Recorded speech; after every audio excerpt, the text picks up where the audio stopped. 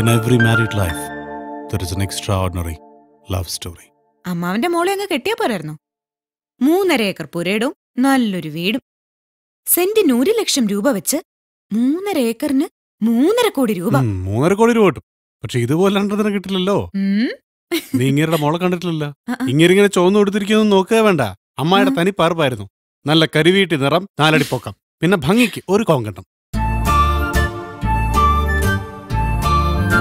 നമുക്ക് പാർക്കാൻ